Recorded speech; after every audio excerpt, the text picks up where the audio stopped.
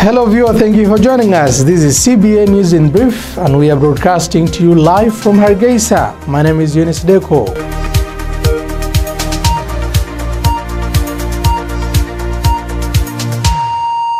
The President of the Republic of Somaliland, Musa Bihi Abdi, today visited a private hospital in the capital Hargeisa that introduced a cutting-edge treatment for children with heart defects. President Bihi visited the Gargar Metro Cardia Center, which in collaboration with the government surgically treats children with atrial septal defects. That is a congenital hole in the wall between the two upper chambers of the heart. The president who was participating in the celebration of the first successful batch of heart surgeries in the country. The government has paid for the surgeries of the children that were treated since most of their families could not afford it.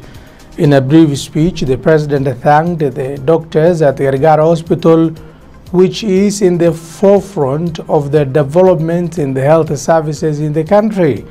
He also underscored that healthcare is a basic human right that should not be subjected to discrimination based on nationality, race, or religion. President Bihi said he learned that uh, from the physicians at the Gargar Hospital who had insisted on treating the enemy soldiers in Somaliland's liberation war in the 1980s. The president then had amicable chats with the children mostly under five who were successfully treated for their heart conditions.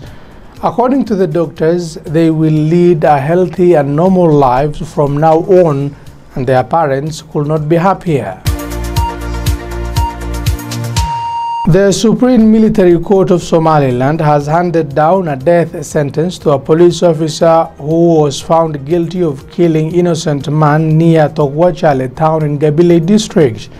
According to a statement from the office of the Supreme Court of Somaliland's military, the court has sentenced one defendant to death penalty and two other police officers to 11 years of imprisonment.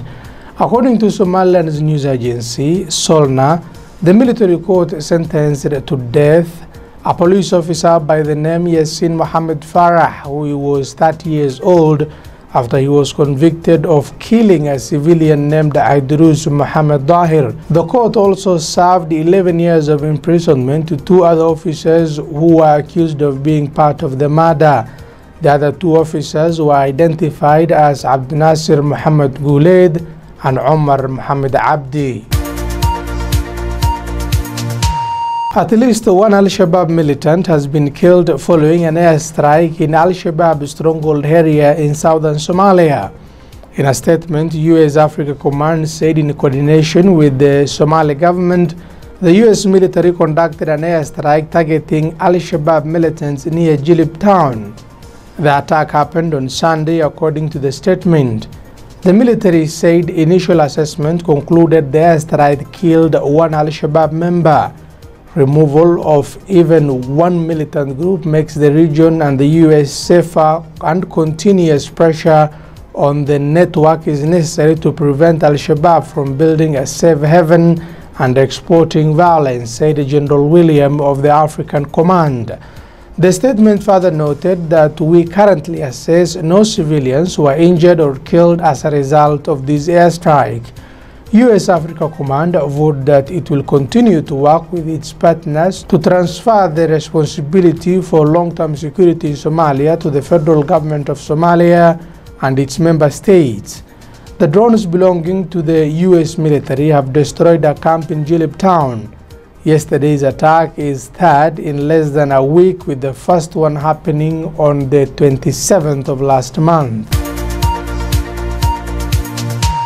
The Forum for National Parties, led by former President Sheikh Sharif Sheikh Ahmed, has strongly criticized the U.S. Embassy in Somalia for supporting the elections of Ahmed Abdi Kariye, aka Qorqor, as the president of Galmudug Regional State. In a statement, FNP said the NFP was dismayed by the statement of the U.S. Ambassador to Somalia, Mr. Donald Yamamoto, in which he unwisely legitimized a fraudulent and manifestly corrupt electoral process bereft of inclusivity. Qorqor's election on 2nd of February in Dusamareb was rejected by four Galmudug presidential candidates, that is, the outgoing president Ahmed Duale Haf and the influential Islamist group Al Sunnah wal Jama'ah. He was the federal government's candidate for the poll. The coalition of opposition parties further said the FNP categorically rejects the U.S. ambassador's statement and underlines that in doing so,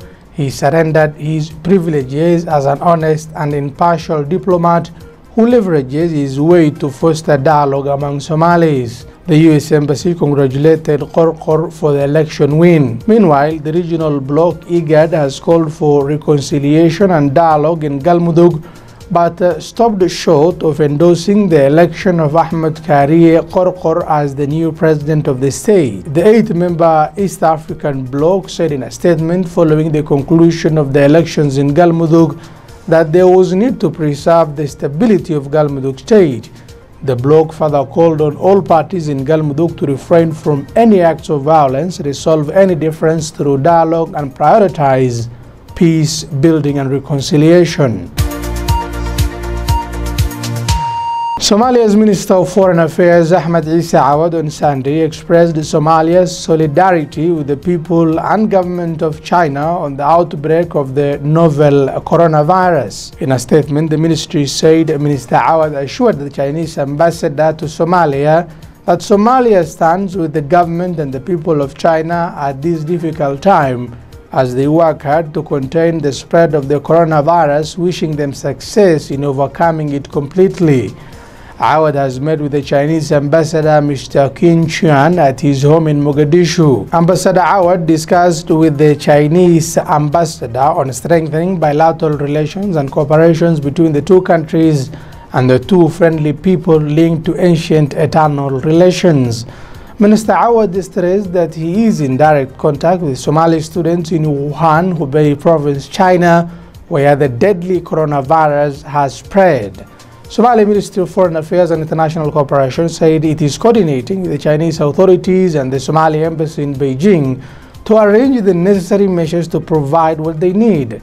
The death toll in China from the deadly coronavirus outbreak that originated in the central city of Wuhan rose to at least 361 people on Monday as the Philippines became the first country outside China to confirm the death from the infection. That is all we have for you on this particular news summary. Thank you for being with me. Join me later on for a full news coverage from Somalia, Somaliland and the entire Horn of Africa.